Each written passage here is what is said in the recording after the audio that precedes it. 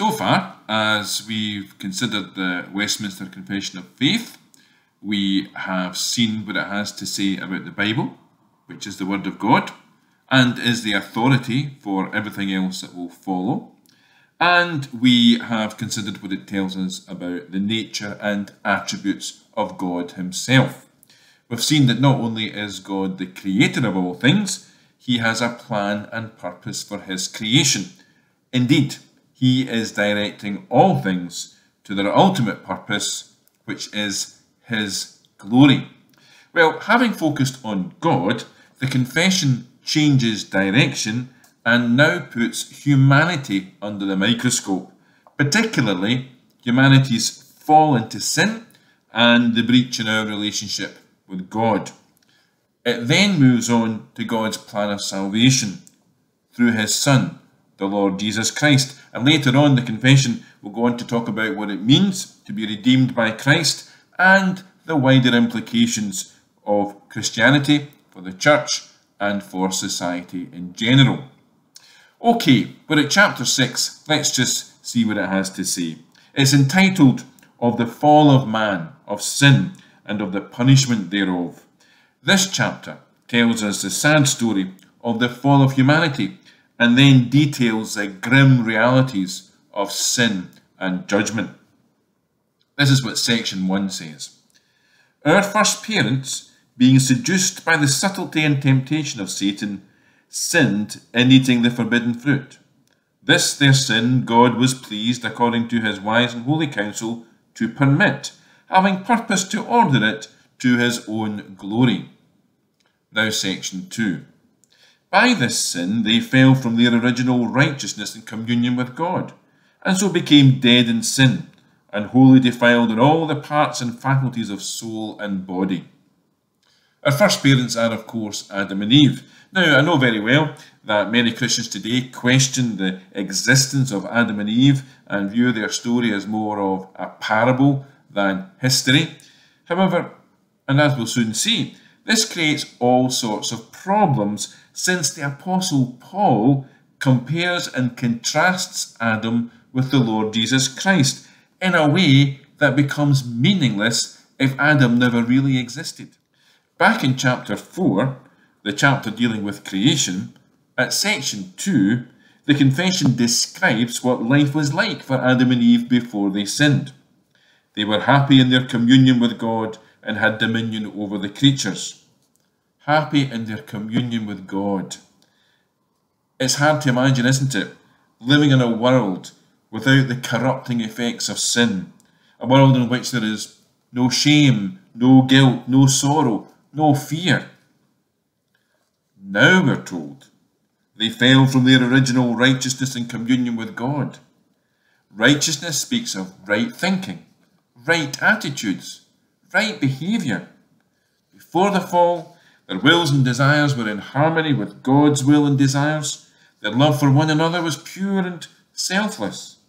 So, how did it all go wrong? Our first parents, being seduced by the subtlety and temptation of Satan, sinned in eating the forbidden fruit. Genesis chapter 2, verses 16 and 17 tell us that the Lord God had said to Adam, You are free to eat from any tree in the garden, but you must not eat from the tree of the knowledge of good and evil, for when you eat of it, you will surely die. Now we move on into Genesis 3, and we read that Satan, in the form of a serpent, persuaded Adam and Eve that God was lying that they would not die. Indeed, by eating, they would become like God. They chose to believe Satan, and consequently, as the confession says, they became dead in sin and wholly defiled in all the faculties and parts of soul and body. Now, here's a question that's frequently asked Why did God not stop sin entering the world? Well, the confession has an answer.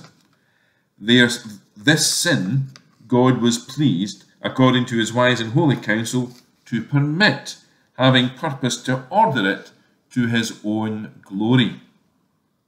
This takes us back to what we said in chapter 3 about God's eternal decree. That from all eternity, God did, by the wise and holy counsel of his own will, freely and unchangeably ordain whatever comes to pass. If that were not so, well, God would be in the dark about the future as much as we are. Now, can you imagine the Lord God wondering whether or not Adam and Eve would obey his command not to eat the forbidden fruit? Uh, can you picture the Creator God watching Adam and Eve as the serpent speaks to them and just hoping, crossing his fingers as it were, that they'll not listen to his lies and, and, and walk away? Well, that's absolutely ridiculous, isn't it? Not only did God permit them to sin, it was part of his plan. Everything about God is geared towards his glory, and he obtains greater glory in redeeming rebellious humanity than if humanity had never rebelled at all. If Adam and Eve had not sinned, there would be no opportunity for God to reveal the extent of his love and mercy. The consequence of eating the forbidden fruit is that they became dead in sin and wholly defiled in all the faculties and parts of soul and body. In other words, every aspect of their humanity was affected. The relationship with each other fell apart, and their communion with God ended. When Genesis chapter 3, verse 8 talks about them hearing the sound of the Lord God walking in the garden in the cool of the day, the impression is that this was a familiar sound, a sound that used to fill them with joy, but not anymore. They heard the sound of the Lord God, and they hid. They hid. Having acquired the knowledge of good and evil, they know that they have done wrong, and they're ashamed. It's spiritual death, and it will eventually lead to physical death. We can describe the effect of sin upon Adam and Eve's relationship as the horizontal consequence of sin, and the breakdown in their communication with God as the upward consequence of sin. There is also a downward consequence down through the generations. Listen to section 3. They, being the root of all mankind, the guilt of this sin was imputed, and the same death in sin and corrupted nature conveyed to all their posterity, descending from them by ordinary generation. Adam and Eve's rebellion didn't just affect them and their relationship with each other and with God, it has affected every human being ever since. It works its way downward through the generations. This is what the Apostle Paul teaches in Romans chapter 5. In Romans 5, verse 12, Paul wants to say that it is through the one man, the Lord Jesus Christ, that believers are saved from the wrath of God. He says, Therefore, just as sin entered the world through one man, and death through sin, and in this way death came to all men because all sinned. And then jumping to verse 18, so also the result of one act of righteousness was justification that brings life for all men. One man's sin opened the door to judgment and death. Another man's righteousness brought justification and life. The one man who opened the door to sin and death was Adam. And in that one act of rebellion, the whole human race sinned. Verse 19 For just as through the disobedience of the one man, the many were made sinners. You see, as the first human being, Adam represented all humanity. He was the root of all mankind. And if the root is poisoned, then the whole tree is poisoned. We're all connected to Adam, and therefore to his sin and his fate. Okay, at first sight that might seem unfair. Why should one man's sin affect us all? Yeah, of course, we are quite happy to accept the righteousness of one man on our behalf, benefiting us all, the Lord Jesus Christ and his work on the cross. We're all affected by Adam's sin. And the proof of this is death. Verse 12 Just as sin entered the world through one man, and death through sin, and in this way death came to all men because all sinned.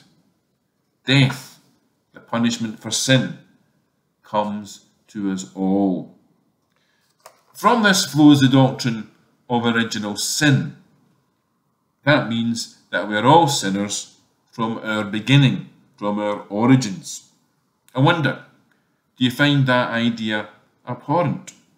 Do you want to believe that human beings are perfect and sinless at their birth and just somehow go astray due to social deprivation or a bad example at home?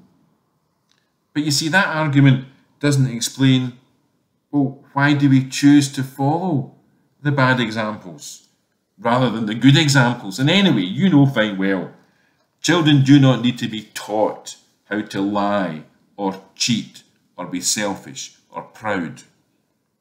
Section 4 explains how original sin has affected every aspect of our humanity and is the cause of all our actual sins. From this original corruption, whereby we are utterly indisposed, disabled, and made opposite to all good, and wholly inclined to all evil, do proceed all actual transgressions. You've often heard me say, haven't you, that we are not sinners because we sin, we sin because we are sinners. Our actual sins, the lies, the pride, the greed, the selfishness, they flow from the fact that we are sinners from birth, spiritually dead, and needing to be born again of God's Holy Spirit. And this is still true for us even when we become a Christian. Section 5. This corruption of nature during this life doth remain in those that are regenerated, and although it be through Christ pardoned and mortified, yet both itself and all the motions thereof are truly and properly sin. Now, there are those within the church who believe that it is actually possible to reach a state of sinlessness in this life. The confession denies that. In Romans chapter 7, the Apostle Paul describes his struggle with sin. And he says in chapter 7, verse 18, For I have the desire to do what is good, but I cannot carry it out. For what I do is not the good I want to do, no, the evil I do not want to do, this I keep on doing. And he goes on to talk about the war that is waging within him. You see, my friends, this is what distinguishes a believer from a non believer. Not that we no longer sin, but that there is an inner war going on. We hate our moral failures. We war against our sin. We cry out to the Lord not just for forgiveness, but for the power to overcome temptation. That's the difference. Well, chapter 6 ends with this stark truth that sin renders us guilty in the sight of a holy God and deserving of his wrath. Section 6 Every sin, both original and actual, being a transgression of the righteous law of God, and contrary thereunto, doth in its own nature bring guilt upon the sinner, whereby he is bound over to the wrath of God and curse of the law, and so made subject to death, with all miseries spiritual, temporal, and eternal. Now, just think about the misery sin has inflicted upon the planet, the pollution, the environmental disasters caused by our greed. And then, being more specific to us personally, Think about the misery you have inflicted on others by your sin, the wounds caused by hurtful words, the cost to others of your selfish actions. Now see the misery that sin has brought to your door, the misery of feeling far from God, the misery of not being able to pray, the, uh, the Bible being a closed book. And then translate that into the misery of everlasting separation from God and the hopelessness of hell.